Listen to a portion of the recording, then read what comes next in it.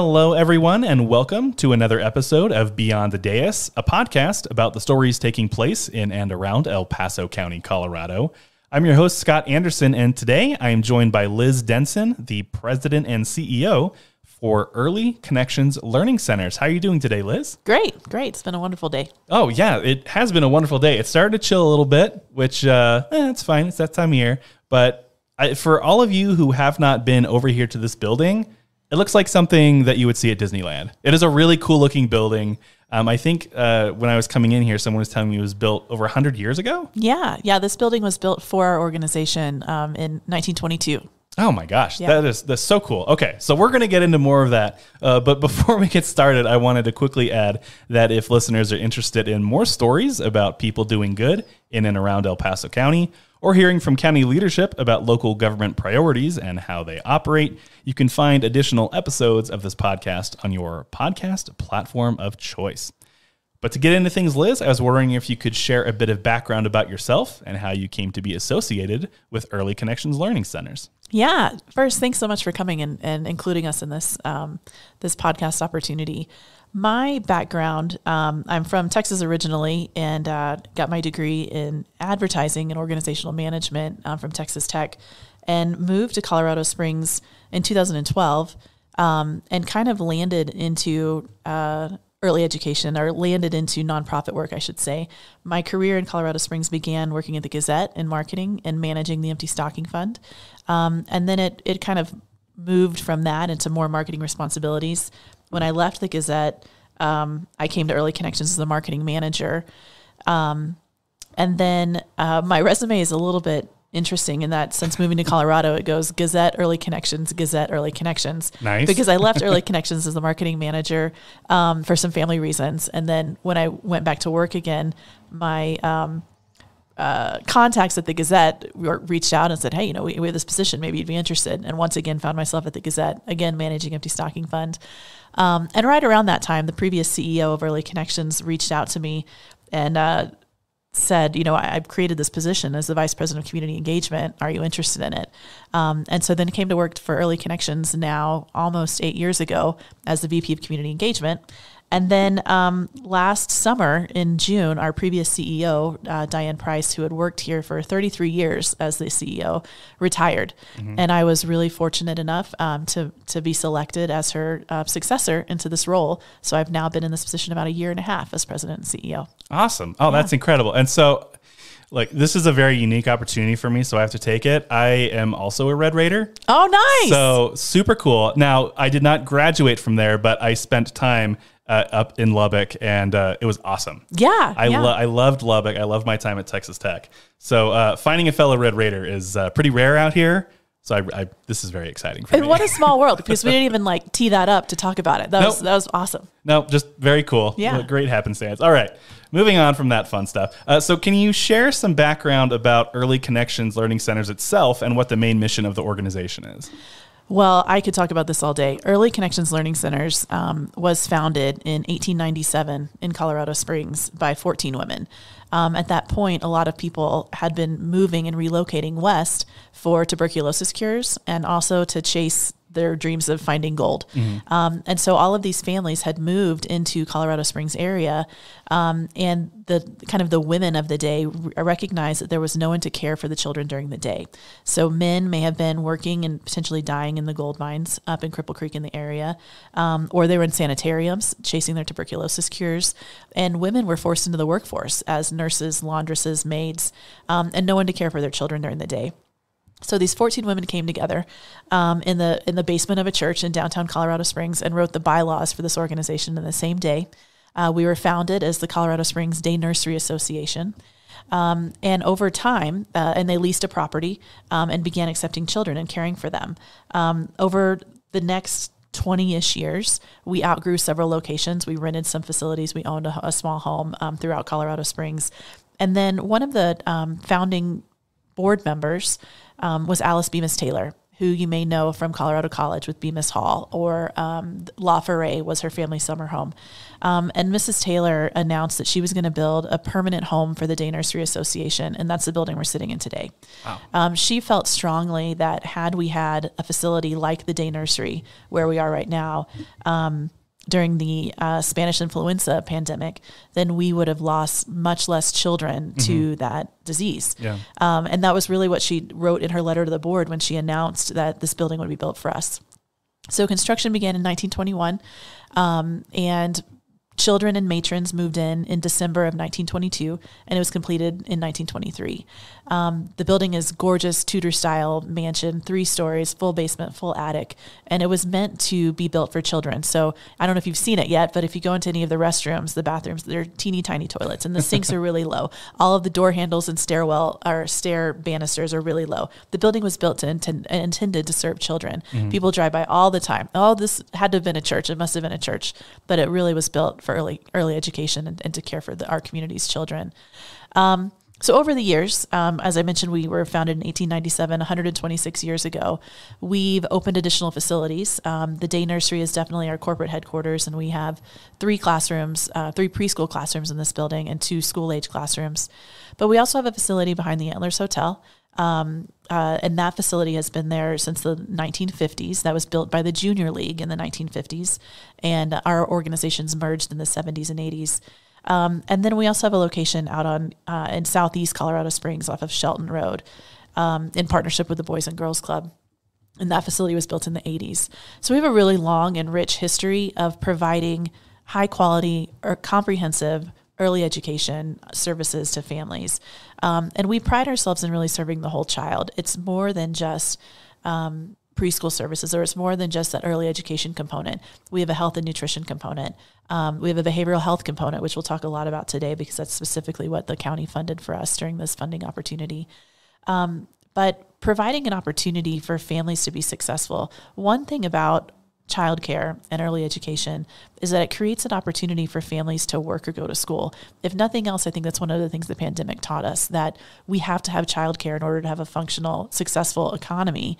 Um, eh, you know, you can have a Zoom meeting with a toddler climbing all over you for only so long before right. it's not working for everybody. Yeah. Um, and employers uh, as well, and, and the children as well. Children need a place to run and play, and, and while their fam- parents are on Zoom, it's really hard for them to be able to do that. Yeah. Um, but uh, I think what makes Early Connections really unique is that not only our long history of providing these supports to um, Colorado Springs residents, but the high quality nature. We're voluntarily accredited by a national accrediting body that less than 10% of childcare organizations in the country are accredited by, because we believe strongly that every child, regardless of their family's ability to, to pay, deserves access to the highest quality early education services.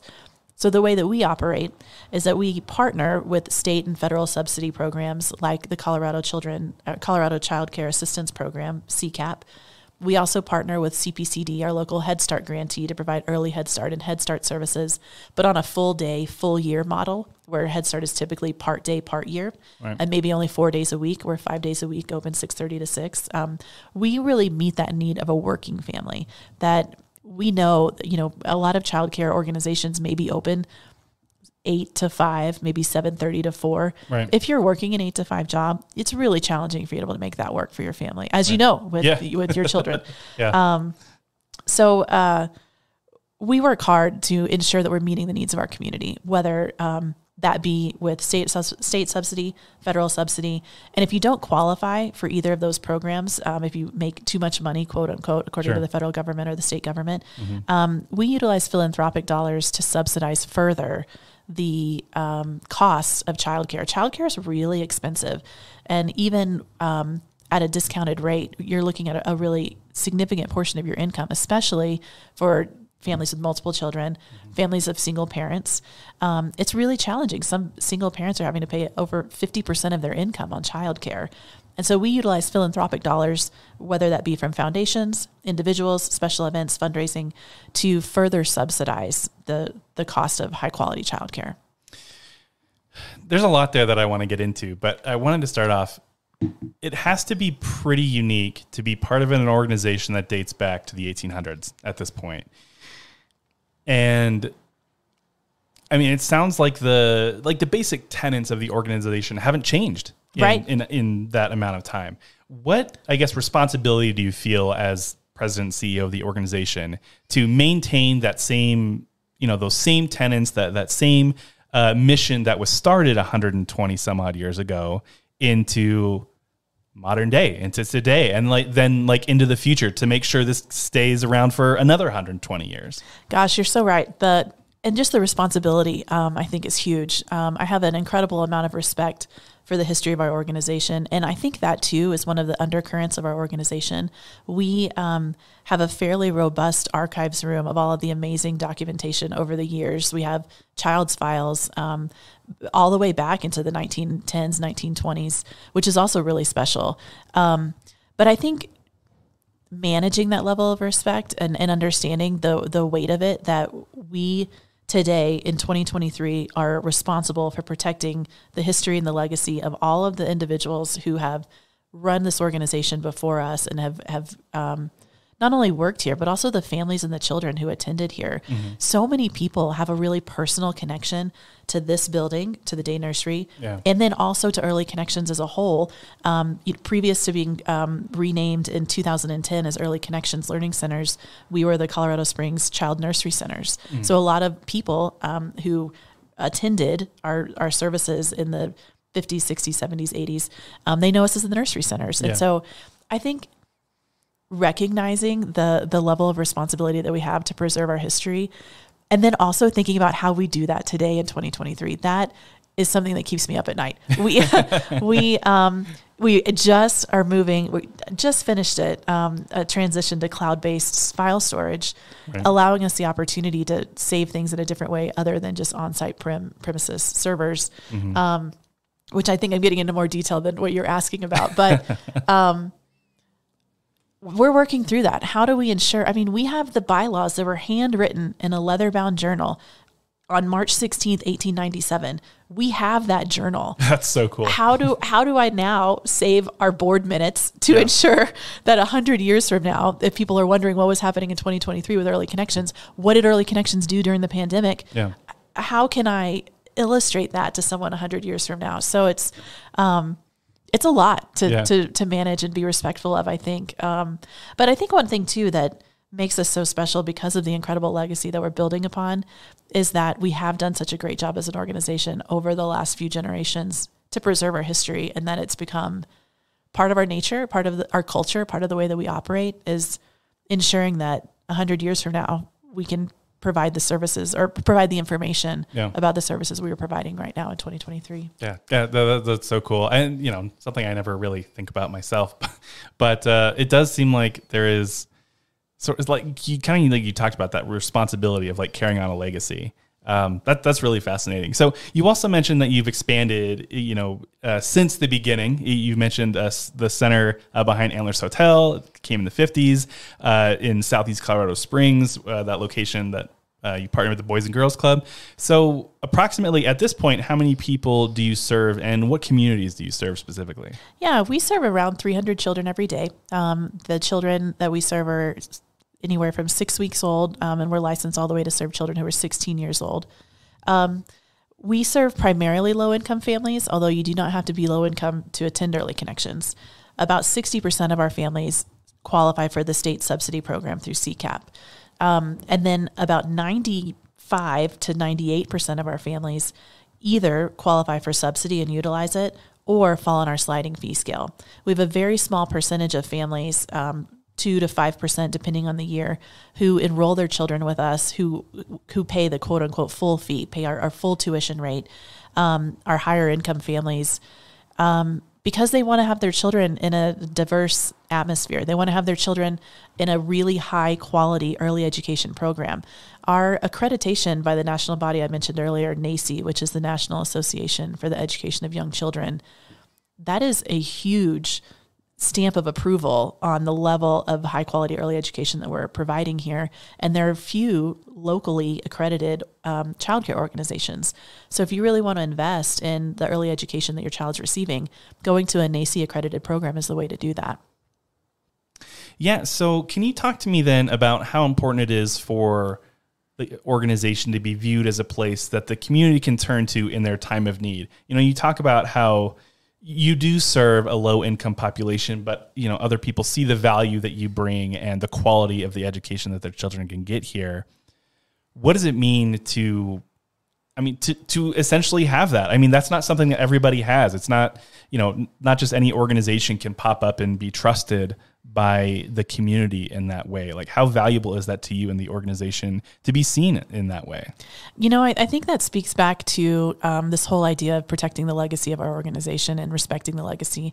Um, you're exactly right. Not a lot of organizations have the benefit of 126 years of community trust built into it um, which also adds a little bit more pressure to, to our current day. Yeah. Um, but uh, it's incredibly valuable from every perspective. As I mentioned, I, you know, we've had generations of Colorado Springs families walk through our doors. We've cared for generations of children.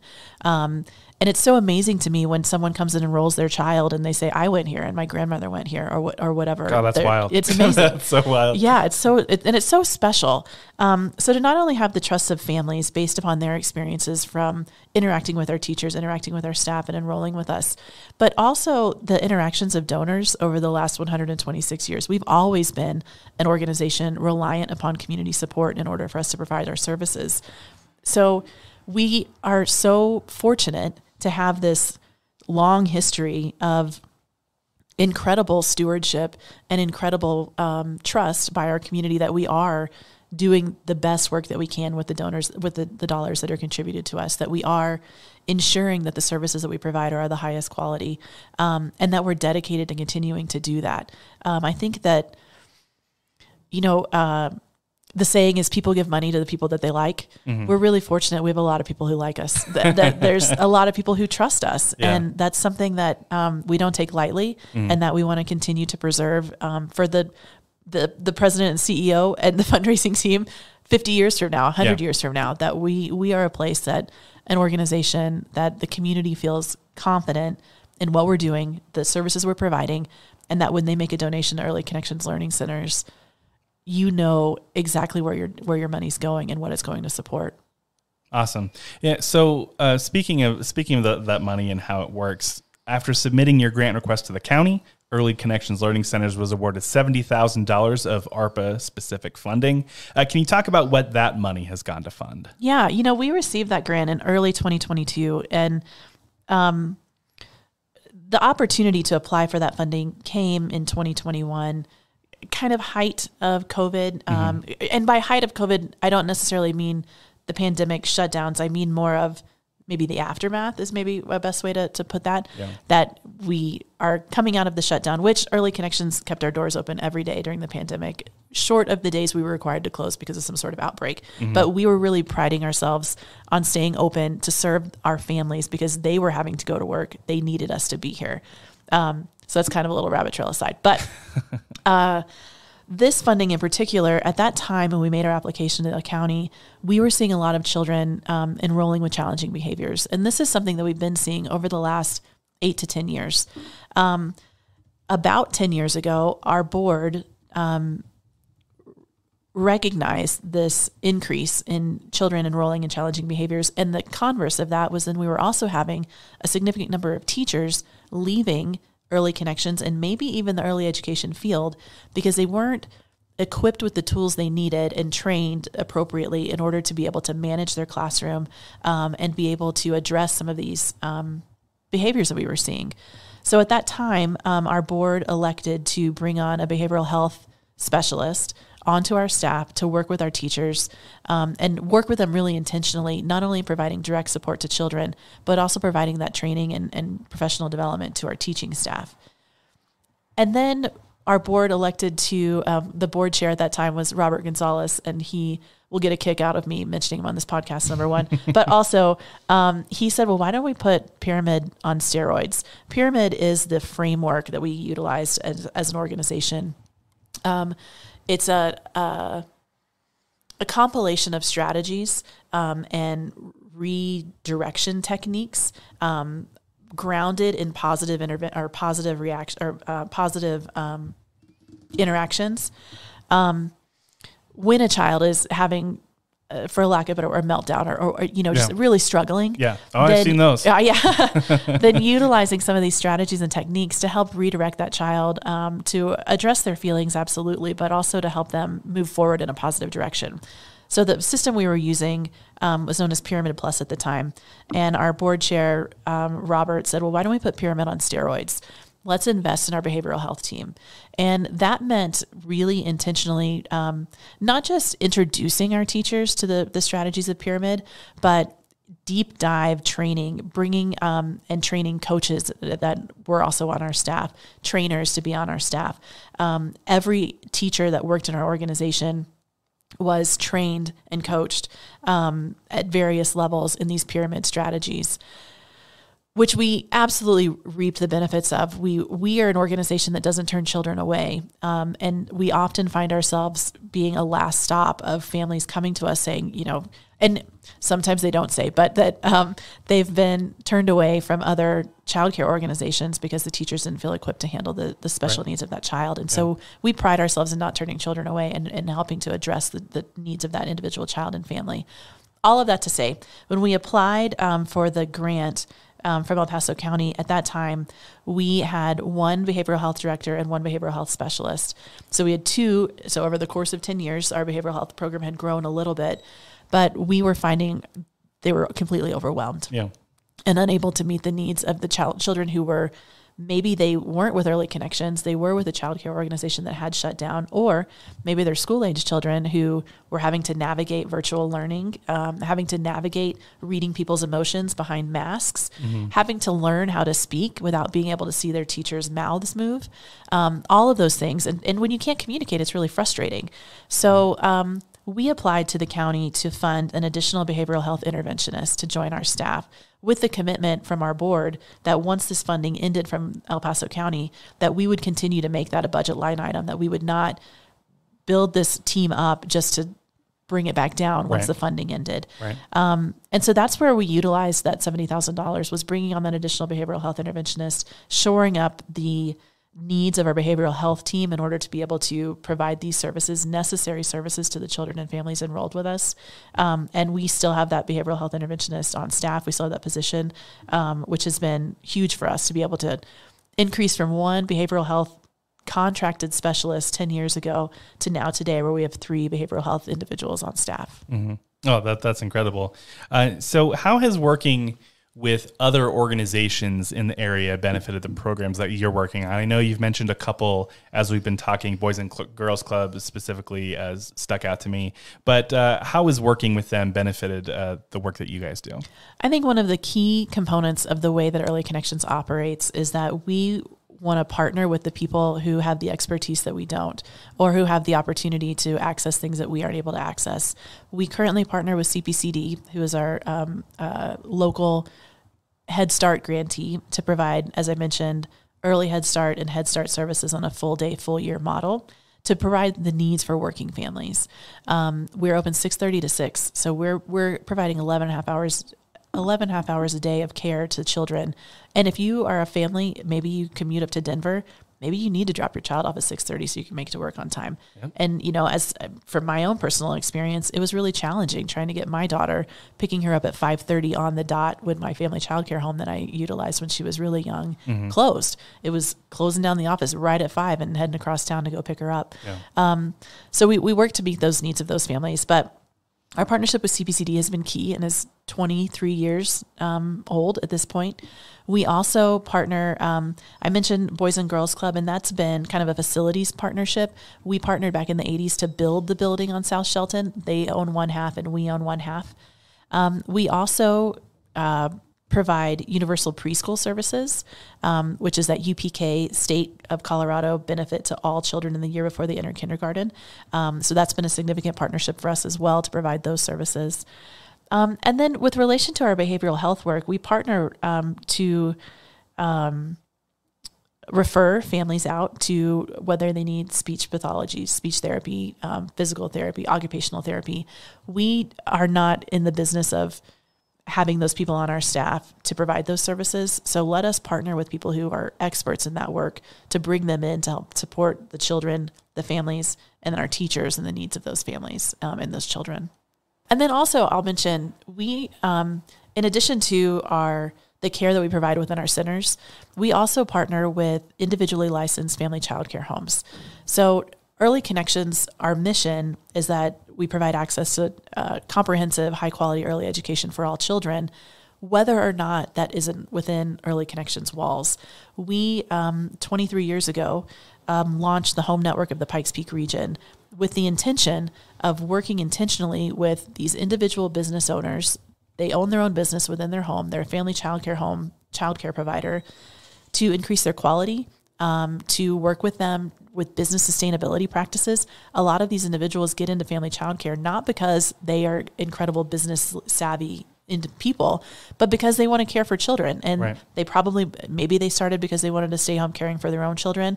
They adopted or brought in some of the neighborhood kids over the, over the, um, the years. And now they find themselves with the family child care home business, but maybe don't have the business sustainability practices in place to help them um, be successful. Right. So we currently are partnering with 16 family child care homes around El Paso County to um, do just that, to help them um, provide for their own business sustainability, to provide higher quality services within their home, and then um, ultimately just help them be successful and and allow for greater access to high quality early education, whether it's in a center like Early Connections or if it's in family child care home. Ah, that's fa- that's fascinating. Um, really, really interesting. And not something and something uh, as someone again coming from the outside wouldn't even think that that's that's something that's provided. So that's really cool. Another key partner in our organization is Court Care of the Pikes Peak region. If you're not familiar, Court Care operates within the El Paso County Courthouse and offers free drop in childcare to anyone with court related business. And that doesn't mean if you're just there because you may have some challenges in the legal system. Um, also, if you're a juror and you have a child and you need to um, um, access childcare facility, um, they can provide that service. But it's a free drop in service. They have their own board of directors, but they contract with Early Connections to provide the services within that program um, because they also believe in the high quality nature of the services that we provide. Yeah. Oh, no, that, that's incredible. So I was wondering if there is a personal story that you can share uh, to help demonstrate the work that the organization does. Yeah, I kind of have two. One is incredibly personal, and the other is more um, general. Um, I'll start with the incredibly personal. My um, daughter is two and a half, and when we were pregnant, trying to find infant care was incredibly challenging in El Paso County. Um, and I kind of have connections in the industry, right? I mean, Right, right. Um, she's two and a half now, so this was only three years ago. Um, and I happened to be the first person to comment on a Facebook post that someone had an opening in their home for an infant. I happened to be the first person that go to tour that home, and thank goodness she was a high quality home, and I absolutely treasured my time having my daughter there. Um, but um, for the first year and a half, she was at a family childcare home, which was 30 minutes away from my work and an hour away from my home. Yeah. So the commute was terrible Yeah. within early connections at that time we didn't have availability for her to be in one of our infant classrooms so she couldn't come here to early connections until she was 18 months old so for a year and a half i had a uh, an awful terrible commute just taking her to a family child care home which ended up being a wonderful experience except for all the time lost driving in the car Right. um, and now she's at Early Connections at one of our classrooms in the Antlers facility, and it's just thriving. She's it's unbelievable how well she speaks and everything that she's accomplished and everything she's exploring and doing, which I just love. Um, but the story that I think is more general, and some of your listeners may remember, um, a few years ago, pre-COVID, um, the story of the family childcare home that had a false wall with children in their basements. Um, this woman was operating a childcare facility, um, and she was caring for more children than she was supposed to be through per licensing. She had a false wall in her home, and there were children found in the basement by police. Um, and this was a really big story, a national story, huge um, uh, ordeal for these families, an absolutely devastating ordeal for these families. There was a lot of trust that was lost in the childcare industry by these individuals, understandably so. Yeah. And the reason I bring up that particular story is because it was fairly close to downtown, and in an afternoon, 50 families found themselves without having childcare. Um, I use that term 50 loosely. I don't exactly know how many families Right. it was, but a significant number of families found themselves without childcare. And many of them, our phone just started ringing off the hook. I think our phone actually started ringing before the story broke because people were knew that they, they have to go to work tomorrow. They Yeah. have they have to find some, a place for their child. Um, and we enrolled a significant number of those families within our two downtown centers. And it was heartbreaking to talk with these families. Um, uh, families who felt like they had made a bad decision or they should have known better. Right. Um, and that's certainly not fair to them. And we spent a lot of time working with those family, with the, the, the moms crying on our shoulders in the hallways of how could I let this happen to me type conversation. Right. And it's been incredible to now look back at that horrible, devastating situation. And then two of those parents who enrolled with us at that time now sit on our board. Um, a handful of other parents are still enrolled with us. Many of them have become donors to our organization. The reason I think that's such an impactful story is because it was an awful situation but early connections was here and available and able to help provide these children and these families with the services they needed um, on a lot of different levels not just yes we can take care of your child for 11 and a half hours a day but let us also coach you through and walk you through that you didn't make any this is not your fault and Right. that we're here to support you and that ultimately we're going to continue to be here to support you and other families for generations to come I, uh, you know, I, I try and put myself in the shoes of people that have that experience. It really, I, I, I can't imagine with that type of thing. How do you help rebuild that trust? I, I'm sure, you know, it's not something that happens overnight. It's not something that happens over the course of a week, right? But when parents trust you to take care of their most prized possessions, right? Their their children, how do you how do you rebuild that trust with them and how do you let them let them know that you know it's okay to be experiencing those feelings it's okay to you know of course in this situation be a little bit distrustful of of the scenario and you know having to again give your kids to someone that you don't really know. I mean how do you do that? And and how do you make them feel okay with it again? I think it's a lot of empathy. I think it's a lot of um, willingness to have some harder conversations with, in, in this instance, parents that we had just met, uh, Mhm, you know, who were distraught over what had happened to them, um, reassuring them that I'll, I'll say that there we have a, a few things going for us that help build that trust. That we are NAEYC accredited. That we have these inter, um, these federal type partnerships. There's a lot of oversight within our organization that may or may not have been happening within that particular situation. Um, but we worked intentionally with our teachers um, who were welcoming those children into the classrooms. We, our behavioral health team was heavily involved um, in making those transitions. Our directors also. One unique thing about early connections is that we operate in a, what's called a shared services model. So all of our corporate type functions are in one place. And what i mean by that is a director isn't responsible for collecting enrollment fees or tuition payments or a director is responsible for um, enrolling families so that leaves the director the opportunity to build a really deep, intentional relationship with the family, completely unrelated to the business aspect of a childcare facility, Yeah. which is unique. Typically, it doesn't operate in that way. I think because of the way that we operate, um, but also because of the nature of the people who work for our organization. They too are working for our organization because they believe in our mission. They believe in caring for children. They believe that um, every child deserves access to high quality services.